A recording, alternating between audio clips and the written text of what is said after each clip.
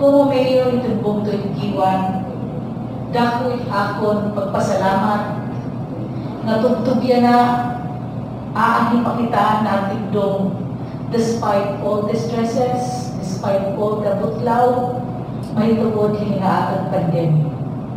Hini nga COVID-19, naliri ni kita maarang kung tugtog sa mo ini. Diri pa na paurhi, ini nga dengue. Kung tapi mabaya ka kaanan ini nga ini nga dengue. Wala anay sa raupa.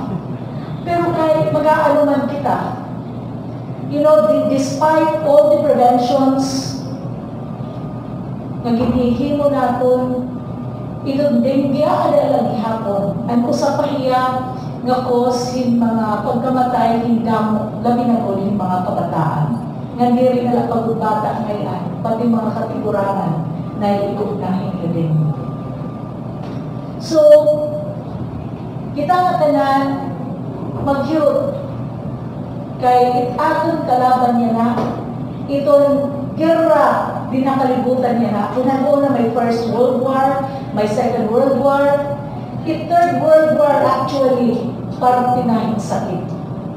Sakit. Di rin nagpupusin-pusilay kundi nananago na kita yan mga balay kay bangin kita kataknan naiibahiyan na sakit. Sakit na di rin ikikita bisan ni dengue. Di rin kita maarang kung saan kita mamamayala dengue. Di kita maarang kung mosquito ito namog na natukog aton may nagdadara aton ng sakit. So uusap lang aton angay pagbuhaton. Maintain hygiene cleanliness kamahamis itong aton surroundings Diri na ka maarang sa balungan ng Domingo, sa iba-iba laking sarakyan, nalibot ako yung kiwan. Pagkita yung mga kabaranggayan, kung hinko itong diri mahamis, ngayon kung hinko itong ano mga barangay angay dalusan, it mga kapaligiran. Kaya tidak nga mga itong nga mga banwa, posibleng aada itong mga sakit pagtitikam. Nalilipay ako itong atong mga kapitanes. Na di rin ka muna give up. Grabe iyong bubuhat para itong iyong mga constituents. Aman di ako, ako ba lang aaliha It legwork, it pagtrabaho, aala yun ha iyo. Di dahil kaubos, mga barangays. Sanglit, it atong future, itong atong health future, it kaus kaupayan kalawas kalawasan atong mga mga constituents din atong bungtod nakasalalay din atong mga health workers and our barangay officials dito itansa ng mga barangay. Ko para pa health workers ay atong mga barangay captains. Kay aman kami ng Dr. Flores, we, kami na oversee kami na-decide, pero it network, ipakig-ato, ipakipagbisog din ha ubos, ikamo ito. Sanglit, saludo talaga ako kay iyo. Health workers and barangay officials of every municipality, of every barangay in the municipality of Kiwan.